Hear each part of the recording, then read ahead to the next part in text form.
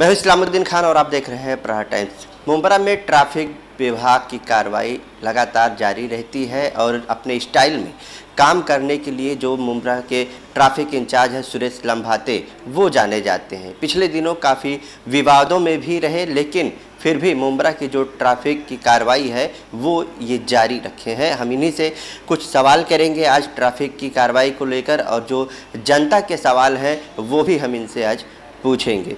सुरेश लम्भाती जी, आपको सात महीना हो गया यहाँ पर चार्ज संभाले हुए और आप जिस तरह से शहर में कार्रवाई कर रहे हैं, इसको लेकर आपके ऊपर तरह तरह के सवाल भी उठ रहे हैं कि आपके कार्रवाई के दौरान जो है काफ़ी हंगामा हो रहा है और आपके ऊपर जो है मारपीट के भी आरोप लग रहे हैं कि आप लोगों को मारपीट भी रहे हैं। क्या कहेंगे आप? ऐसा मारपीट वगैरह कुछ नहीं रहता है। हम, मैं अभी फरवरी में आया हूँ। गए सात महीने में हमने कम से कम पैंतालीस से फोर्टी सिक्स थाउज़ेंड केसेस किए हैं। साठ पैंसठ लाख का जुर्माना हमने जमा किया है, सरकार को जमा किया है।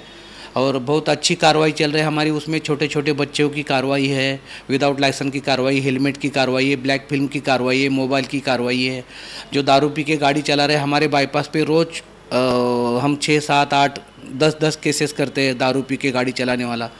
अभी गए सात महीने में ऐसा मेजर कोई भी बड़ा एक्सीडेंट नहीं हुआ हुआ है हमारे इधर, क्योंकि हमारी कार्रवाई इतनी तेज़ चल रही है कि बच्चे लोग अभी गाड़ी चलाना भी बहुत कम हुआ है हमारी कार्रवाई की वजह से। और ये मारपीट का आरोप होता है, वो गलत है वो। वो ऐसा जानबूझ के लगाता है। लोगों का ये कह रहा है कि अभी तक आपके पहले भी दो एक दो तीन जो है ट्रैफ़िक इंचार्ज आए। लेकिन उन लोगों के कार्रवाई के दौरान कभी भी ऐसा हंगामा नहीं हुआ न ही ऐसी कभी मारपीट की खबरें आई। तो फिर आपके ही कार्रवाई के दौरान ऐसी खबरें क्यों आती? नहीं एक्चुअली कैसा हुआ इसके पहले गए पंद्रह सोलह साल का हमने जो चार्ट है हमारा वो भी चेक किया। इतना बड़ा कार्रवाई मुमरा शहर में नहीं हुआ था।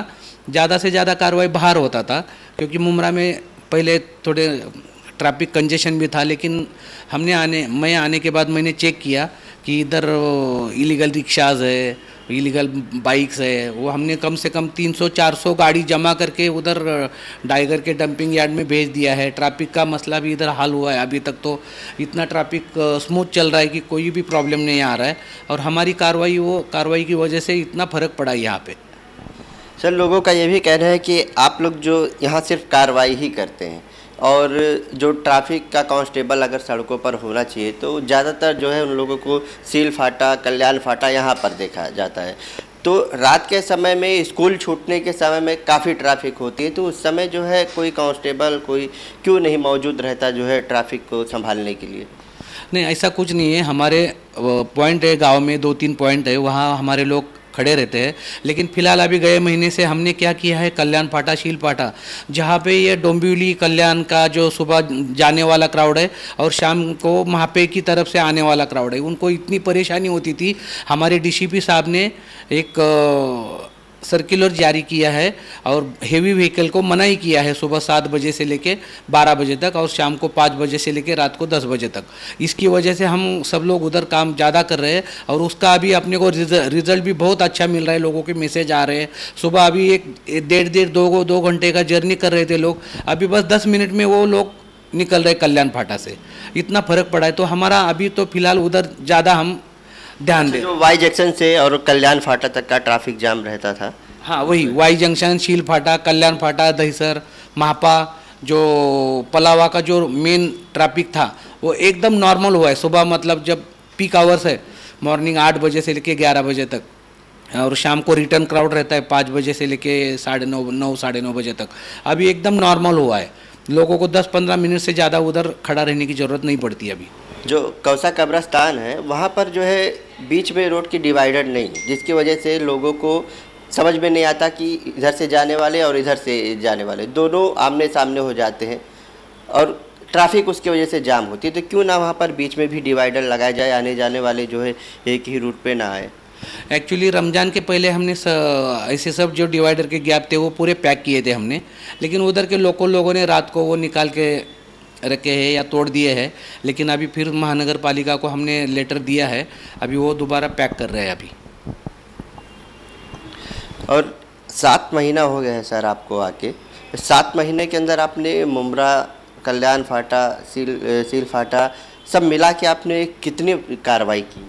हमने अभी तक पैंतालीस forty six thousand forty five thousand कार्रवाई किया है केसेस किए हैं और साठ पैंसठ लाख तक जुर्माना हमने जमा किया है आज तक। उसमें सभी सभी टाइप के केसेस हैं हम हमारे। अच्छा मुमरा शहर में सबसे ज़्यादा आपने कार्रवाई किस पर किया ऑटो वालों पर किया है या फिर जो बाइक चालक हैं या और जो फोर व्हीलर है? उन पर नहीं एक्चुअली ऑटो चालक पर ज़्यादा कार्रवाई हुई है। उनमें क्या है वो खाली लाइसेंस निकालते हैं लाइसेंस का बाहर रहता है, बाहर का रहता है। उनको बैच नहीं है। बैच नहीं है तो उनको रिक्शा नहीं चला सकते। बैच अगर बिना बैच का रिक्शा चलाएगा, किधर एक्सीडेंट हो गया तो उसका इंश्योरेंस नहीं मिलता है। ऐसे हमने गाड़ी, बहुत गाड़ी जमा किया है और बहुत केसेस किए हैं हमने रिक्शा के ऊपर। इसलिए अभी जो फ़िलहाल अभी चल रहे ड्रेस बैच वगैरह सब लगा के चल रहे सब लोग। सर, जिस तरह से आप लोग कार्रवाई कर रहे हैं तो आपके कार्रवाई को लेकर तो जो है जनता जो कह रही वो बात अलग है। लेकिन फिर भी इसके बावजूद जनता का एक सवाल और है कि जो रोड के साइड में इलीगल तरीके से पार्किंग है, आप लोग ट्रैफ़िक के लिए कार्रवाई कर रहे हैं, लेकिन जो पार्किंग की गई है, उस पर कार्रवाई क्यों नहीं कर रहे हैं? कहीं ना कहीं लोगों का मानना है कि उसकी वजह से भी ट्रैफ़िक जाम हो रही है। नहीं, ऐसा नहीं है। पार्किंग की कार्रवाई भी हमने चालू की है। अभी जो जो गाड़ी बहुत दिनों से खड़ी है, उनके ऊपर हम स्टिकर का लगा रहे हैं। स्टिकर लगा के उनको नोटिस दे रहे हैं कि 24 घंटे के अंदर अपना गाड़ी हटाना चाहिए। अगर 24 घंटे के अंदर गाड़ी नहीं हटाई तो हम उठा के उसको लेके जाएँगे। और अभी इसका नतीजा इतना अच्छा निकल रहा है कि बहुत गाड़ियाँ चौबीस घंटे के अंदर निकाल रहे हैं। अभी गए चार पाँच दिन में हमने कम से कम ऐसे सत्तर अस्सी गाड़ी के ऊपर हमने कार्रवाई किया है। उनमें से चार पाँच गाड़ी हमने निकाल के हमारे ऑफ़िस में आके पैसा भर के वो लोग छोड़ा के लेके गए अभी अच्छा रिज़ल्ट सामने आने लगा है और हमारा कार्रवाई वही जारी है। लोगों का कितना विरोध रहेगा? लोग कार्रवाई करने को भी बोलते हैं, विरोध भी करते हैं, लेकिन हमारा कार्रवाई जो है, वो जारी रहेगा हमारा। सर, कहीं ना कहीं लोगों के दिल में ये भी है कि आप सिर्फ़ मुमरा में ही कार्रवाई करते हैं। कभी तनवर नगर में तो कभी अमृत नगर में, कभी मुमरा पुलिस स्टेशन के पास। लेकिन लोगों का कहना कि आपका एरिया जो है, रेती बंदर तक आता है, दीवा आता है। आप लोग कभी यहाँ कार्रवाई क्यों नहीं करते नहीं, ऐसा नहीं है। हम रेती बंदर में भी कार्रवाई करते हैं। हमारा दीवा में कार्रवाई जो है, पुलिस स्टेशन के लोगों के साथ में, पुलिस स्टेशन को साथ लेकर हम दीवा में भी बहुत बड़ी कार्रवाई की है हमने। कल्याण शील फाटा वाई जंक्शन में तो हमेशा चालू रहती है। हमारी कार्रवाई सभी जगह पे चालू रहती है। और ऐसा हम सभी जगह पे कार्रवाई करते रहेंगे हम लोग।